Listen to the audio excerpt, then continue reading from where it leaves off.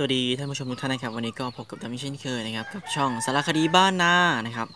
วันนี้ก็จะพาพี่ๆท่านผู้ชมนะครับ มาชมต้นโชคเก้าชั้นด่างนะครับ ก็คือลูกๆของโชคเก้าชั้นนะครับ ผมที่ได้ต้นด่างมานะครับ ไม่ว่าจะเป็นแม่ด่างขาวนะครับด่างอาจจะไม่เยอะนะครับ แต่ลูกให้ด่างเยอะนะครับ แล้วก็มีด่างแฉลบนะครับ พวกอ ที่เป็นสีออกโทนม่วงๆชมพูชมพูนะครับผม แล้วก็มีดำดำด่างนะครับดำด่างก็ไม่เยอะเหมือนกันนะครับอ่าอันนี้นะครับเดี๋ยวพาเดินชมนะครับ อันนี้เป็นลูกๆด่างที่ผมคัดมาแล้วนะครับผม อันนี้จะเป็นด่างแฉลบนะครับ ลูกๆของด่างแฉลบนะครับผมเดี๋ยวพาเดินชมนะครับ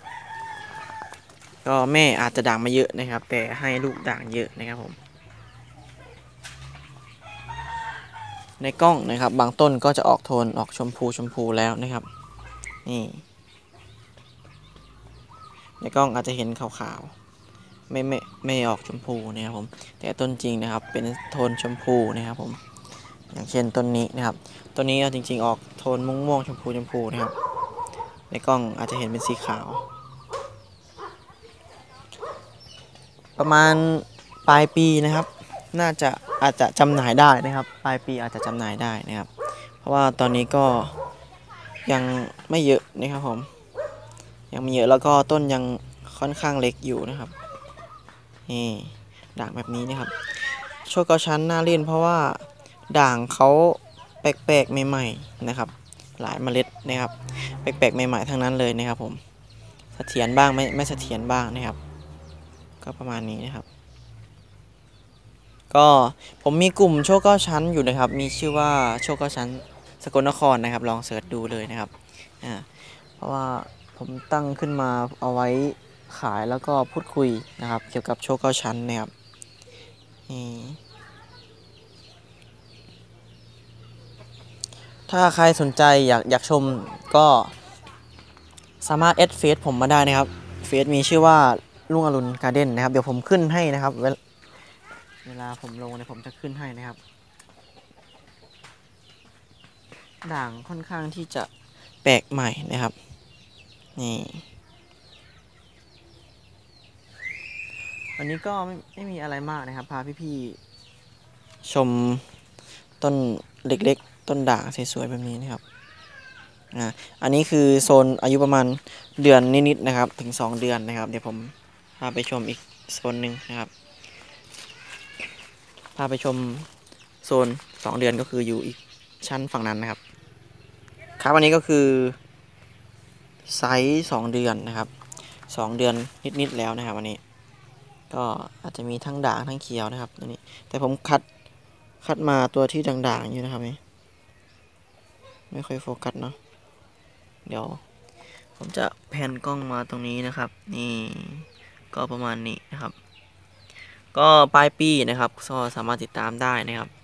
ด่างส่วนใหญ่ผมจะมีด่างขาวนะครับ ค่อนข้างเยอะเพราะว่ามีแม่พันธุ์ที่เป็นด่างขาวนะครับผม ก็อาจจะมีด่างขาวแล้วก็ออกโทนมิ้นท์ๆนะครับนี่นี่ก็ค่อนข้างเยอะพอสมควรนะครับ เดี๋ยวผมจะให้ดูตัวที่เป็นด่างมิ้นท์นะครับนี่อันนี้ก็คือตัวที่เป็นมิ้นท์นะครับ ออกด่างมิ้นท์เลยนะครับ ผมมีอยู่สองต้นนะครับ ตรงนู้นอีกหนึ่งต้น ยังไม่ขายนะครับ อันนี้ยังไม่ขายนะครับ จะขายช่วงปลายปีนะครับ ขายก็เฉพาะพวกที่เป็นด่างเสถียรเสถียรขาวๆด่างขาวแบบนี้นะครับอันนี้ด่างทุกใบนะครับโหดๆเลยนะครับต้นนี้ พี่สามารถติดตามได้นะครับฝากติดตามช่องสารคดีบ้านนาไว้นะครับผม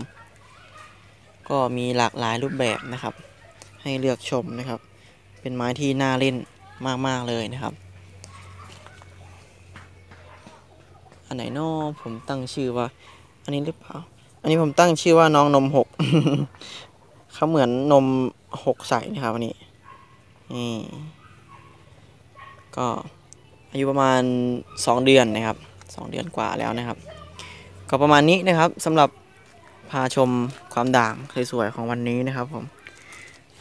เดี๋ยวอีกต้นหนึ่งไซส์ที่เป็นสามเดือนก็ประมาณนี้นะครับ ใหญ่ขึ้นมานะครับผม ประมาณนี้นะครับ ใส่สามเดือนนะครับนี่อาจจะด่างไม่ค่อยเสถียรเท่าลูกชุดที่สองนะครับอันนี้ ลูกจุดสองค่อนข้างค่อนข้างที่จะด่างเยอะนะครับประมาณนี้นะครับ ก็ฝากติดตามด้วยนะครับสำหรับช่องสารคดีบ้านนานะครับ แล้วก็ใครที่อยากเข้ากลุ่มเกี่ยวกับโชคก้าชั้นก็ผมมีกลุ่มโชคก้าชั้นสกลนครนะครับ ถ้าพี่ๆอยากลงขายหรือว่าอยากพูดคุยนะครับผม ผมก็จะเอาอาลิงก์ของช่องนะครับแปะลงไปเรื่อยๆนะครับแล้วก็อัปเดตนะครับเกี่ยวกับการปลูกโชคเก้าชั้นนะครับว่ามีต้นไหนนะครับ พร้อมขายผมก็จะลงในกลุ่ม แล้วก็อาจจะลงในเฟซส่วนตัวนะครับ เดี๋ยวผม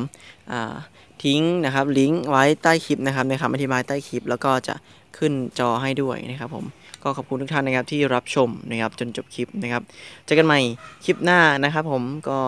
ฝากติดตามช่องสารคดีบ้านนาด้วยนะครับ สวัสดีครับ